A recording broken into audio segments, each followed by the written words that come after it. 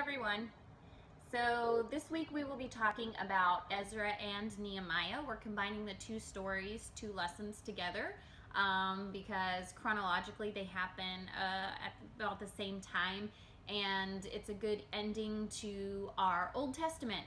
Um, so these will be the last two of the Old Testament and next week will be a lot of fun. We're going to have um, a review of the past however many weeks that we've had and then start on the New Testament.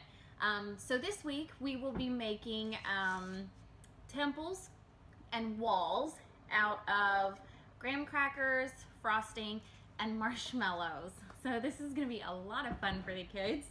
Um, so what we're going to start off with is um, the baggie. You're going to put some frosting in the baggie. We're just going to cut the tip of the baggie off to make um, like a piping bag. But these baggies are a little bit different, so be very careful not to cut too much off or you'll have it squeezing out in a lot.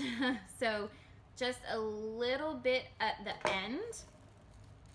And I think I might have cut mine too big already, actually, because it is folded over. So if you a, this is gonna be really hard to show you, so hopefully I will have all of them pre-cut. Um, but yes, so you're gonna have to really,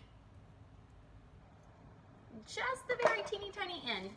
And then um, just scoop some frosting, stick it in right here. Um, and then they can use their graham crackers and um, I bought a lot of graham crackers, but we should try to keep the kids to maybe like two full cracker sheets a piece, two and a half maybe, um, and let them use their imagination as far as like, it doesn't have to be house shaped, it can be whatever. And if some of the, the um, crackers get broken, it's no big deal. They can use the broken ones and put icing to make them fit together. Um, yeah, so let kids be as creative as they want to be with this.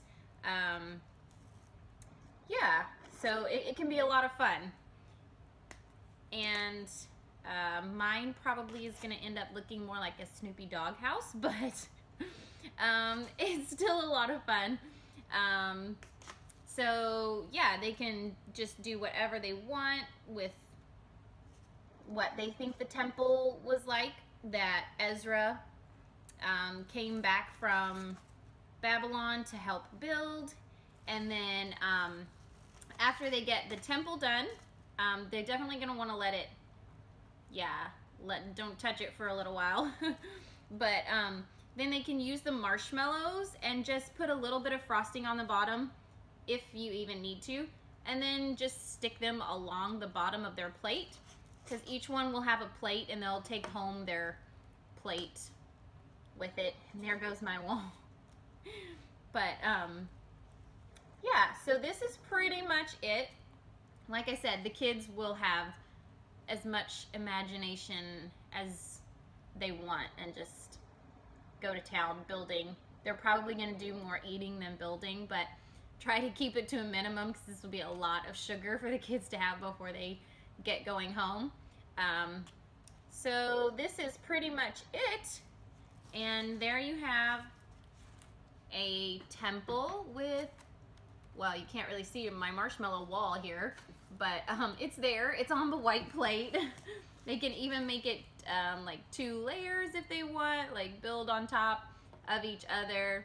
Um, yeah, just whatever, whatever the kids are feeling like doing there. Um, but so this is just a, a, fun kind of craft to remind them of the story of Ezra and Nehemiah and how God used them to be great leaders and to bring the people together and to do God's work and all of the wonderful things that we can do together if we work together as um, God's family and his children. So that is our craft for this week.